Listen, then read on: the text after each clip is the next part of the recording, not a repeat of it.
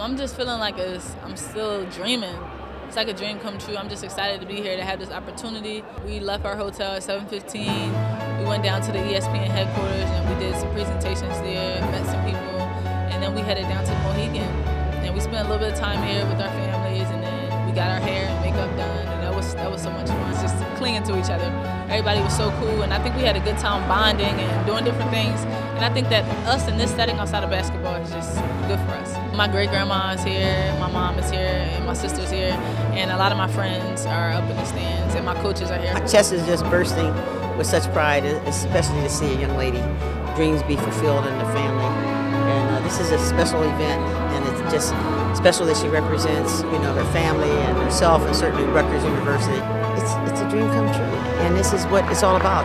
You know, to coach and, and to work hard, and certainly for her to be here today. It's just thank you so much. Thank you, thank you. Thanks to our fans who really gave her the kind of energy and electricity that she needed to, to, to reach this particular level. Uh, Clara Clark, Kahleah Copper's great grandmother. And um, this has been her dream from way back. And uh, I'm glad to see it happening. She is too. Get picked in this league is just an awesome opportunity. But um, if I had to choose uh, somewhere close to home, maybe New York, uh, DC, something like that.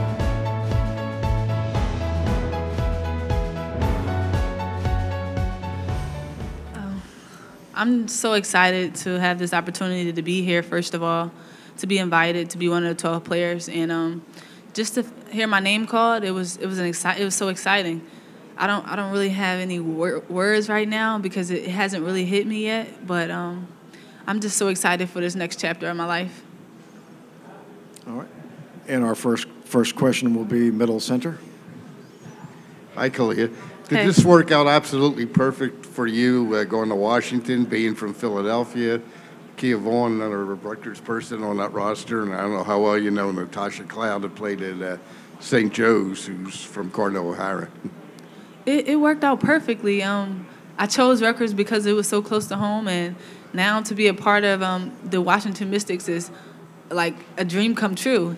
And um, I, I am familiar with those players at Washington, and I'm just excited to follow some experienced veterans who um, knows what they're doing.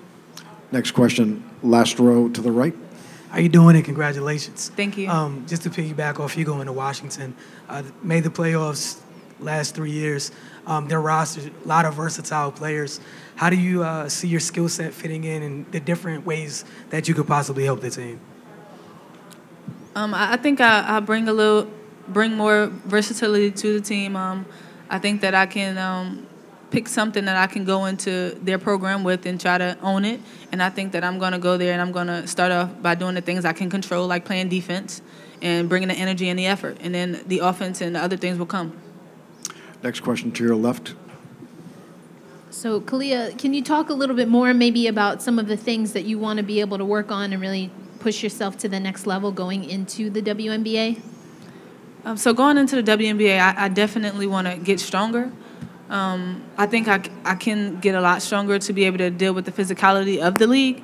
And um, I, I also want to just extend my um, my range, keep keep shooting the threes. I mean, I've gotten a lot better this year, so I just want to keep working on those things and keep working on my ball handling and just continuing to get better. You know what? Uh, Kahleah works hard. She's, she's never come in one day and not given everything she possibly can, and she wants to continue to grow and learn and to be the best player that she can possibly be. When she does that, you know, and competes, you know, as she has always, you know, she can't help but endear herself to the WNBA and just be one of those special people. I, I just don't think that it's done here. I think that she's going to uh, be one of these people that, that is going to be celebrated as one of the all-time greats, and I, I really believe that in my heart.